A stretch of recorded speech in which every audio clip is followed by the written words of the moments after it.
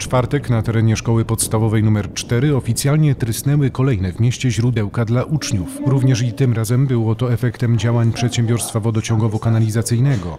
Dzięki nim wszystkie gminne placówki oświatowe mają już dostęp do świeżej, smacznej wody.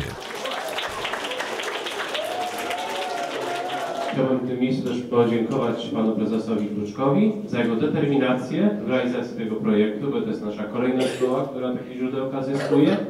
E, I w ten sposób e, jesteśmy dokładnie tacy sami jak e, szkoły w całej na przykład Europie, bo i na zachodzie, i na wschodzie takie właśnie źródełka w szkołach są i uczniowie z nich korzystają i my również. Chciałbym, żeby nigdy nie zabrakło nam tej wody, w związku z powyższym troszczymy się o to jako PWK, jako miasto, tutaj zarząd, prezydent wszyscy, e, wszyscy razem. Mam nadzieję, że tak będzie. W dowód wdzięczności za troskę o ich zdrowie, dzieci zaprezentowały gościom krótki program artystyczny, oczywiście o tematyce ekologicznej, nawiązującej do okoliczności ich słowno-muzycznego występu. Świat bez wody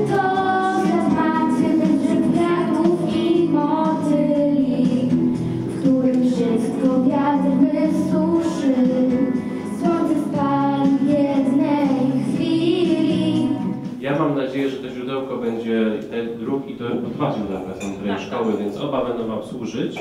Korzystajcie z nich jak najczęściej, tą kolą mijajcie, tylko święta. E, bo ta, ta woda jest zdrowa, bezpieczna i warto e, właśnie pić wodę, nawet należy codziennie pić e, wodę tak, żeby być zdrowym i żeby dobrze rosnąć i rozwijać.